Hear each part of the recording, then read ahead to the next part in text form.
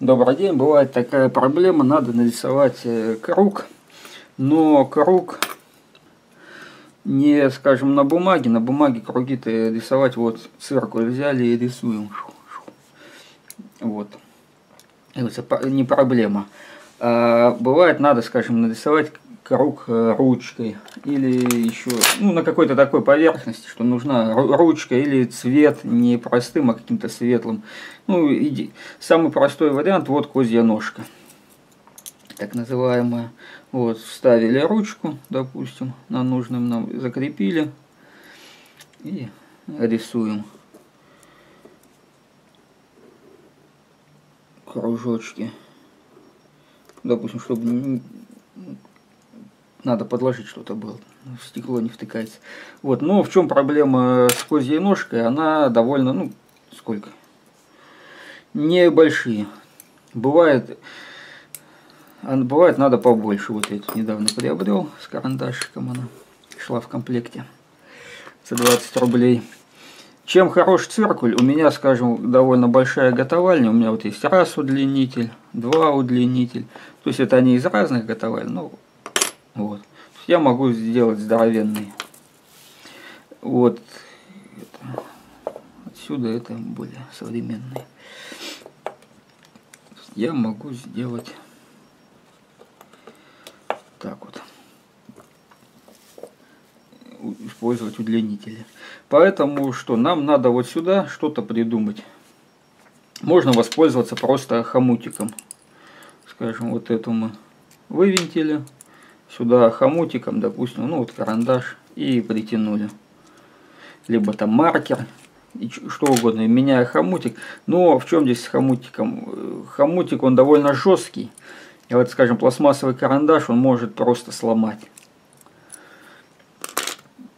Поэтому есть идея сделать переходничок.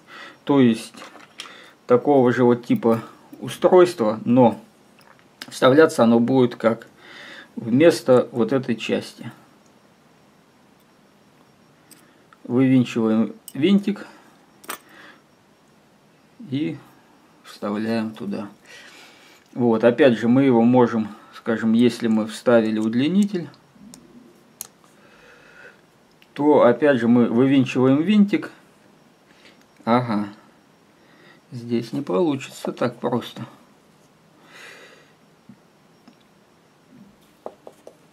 Вот, либо мы, то есть вариантов два. У меня, извиняюсь.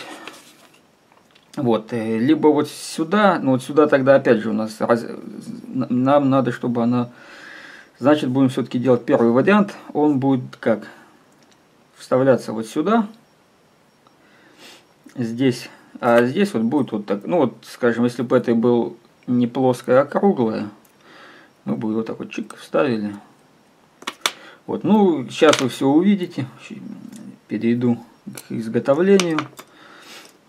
Сейчас я пауза. делать, что я продолжаю делать? Я продолжаю делать штуковину для циркуля. Вот у меня был кусочек, э, остаток какой-то шпильки пальца. Я что сделал? Просверлил здесь отверстие на 5, чтобы резьбу на 6. И здесь было уже отверстие на 5, на 5 резьба будет на 6.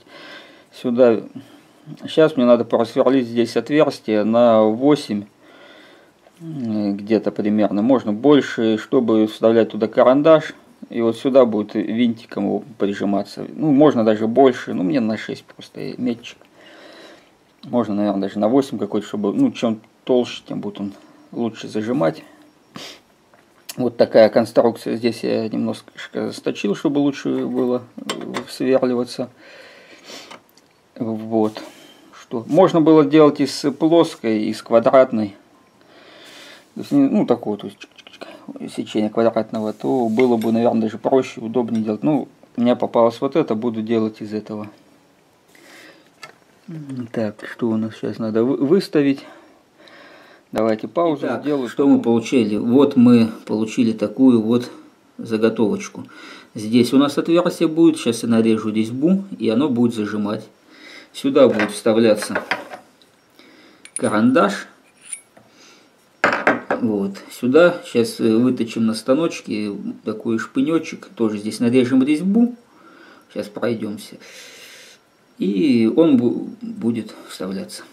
Так, так вот что у нас получилось в конечном результате. Я здесь на 6 делал отверстие. Я по ошибке нарезал не ту резьбу, кинулся. Я нарезал вместо 6.1 6 на 75. 75 плашкой кинулся на рынок, что-то ни у кого не было, не нашел, психанул, рассверлил на 8. Теперь мне надо взять болтик коротенький на 8, вот пилить, ну, чтобы он не так не болтался. Ну, пока показать, что, что получилось. Вот, и здесь вот и моя ошибочка. Надо было вначале ввинтить, а потом отпиливать вот эту вот штуку. Тогда бы она здесь не торчала. Ну, это я просто чуть-чуть сточу вот эту. Вот здесь хочу немножко снять сверху. Вот. Ну, вот он так вот зажимается. Вот я в удлинителе пока зажал, показать. Что у нас? Может быть, чуть-чуть надо будет пошире, не, не всякая ручка сюда влазит. Сейчас воткну. Ну, вот это вот вылазит. Так, нет, сейчас надо. Секундочку.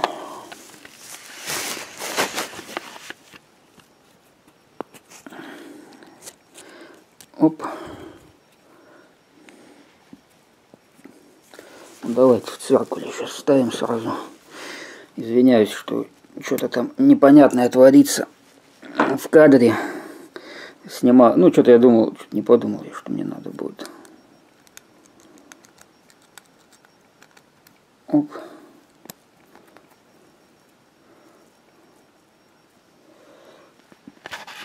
Ну, вот примерно так это будет выглядеть. На мой взгляд, неплохо. Вот. Что ну, подводя итоги, что я хочу сказать. Получилась у нас козья ножка, как раз год козы, 31 я ее доделал. Э, так что еще раз с наступающим Новым годом. Э, вот, ну, короче, в чем, давайте я подведу итог, что-то получилось, что-то не получилось. Нам надо кусочек металла, может быть даже алюминий подойдет, скорее всего подойдет, и может даже и пластмасса.